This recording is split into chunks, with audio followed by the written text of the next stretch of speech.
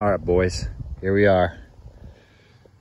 22 Godzilla four door long bed. This is a 14,000 pound Big Tex. Um, this is a L48 Kubota.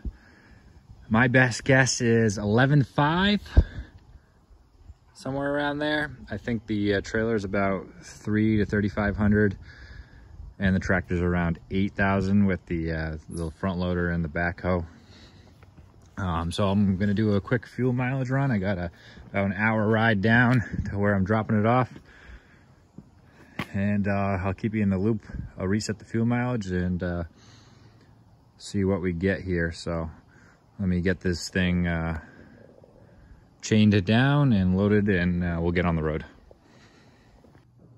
One more thing uh, before I take off here. The truck does have 430 gears and um, I put 30 PSI in the rear airbags just to bring it up a little bit. But all right, we're taking off now. Okay, reset the trip meter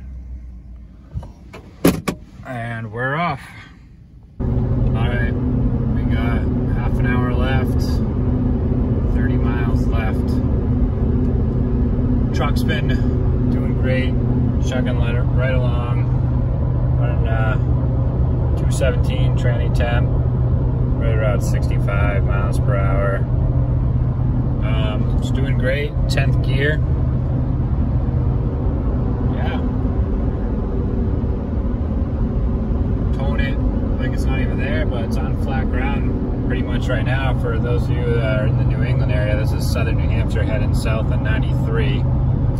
I don't come down here very often. This highway is crazy now, four lanes wide, and I swear the average speed in the left lane, they're doing 90 plus. But yeah, I'll keep you updated. All right, we're down here in Massachusetts, unfortunately.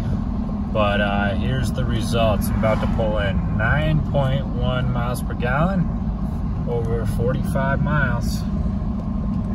So, not bad. I did better than my 8,000 pound camper, but this is probably uh, more aerodynamic, even if not by much. But I averaged about 65 to 70, closer to 65 the whole time. So, um, I'll be heading back empty once I drop this tractor. So, this will be it for the 11,500 pound run here.